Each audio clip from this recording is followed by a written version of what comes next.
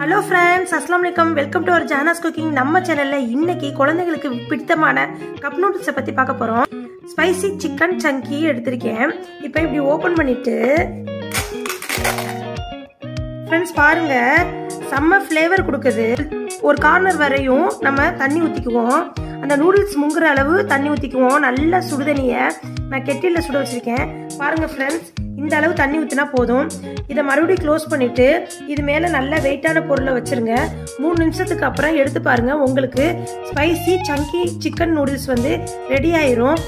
Spicy chunky chicken noodles வந்து ready ஆயிடுச்சு friends friends செம டேஸ்ட்டாக இருக்கும் செம ஃப்ளேவர் கொடுக்கும் செம ஹெல்த்தி எங்கே வேணாலும் எடுத்துகிட்டு போய் செஞ்சு சாப்பிடலாம்.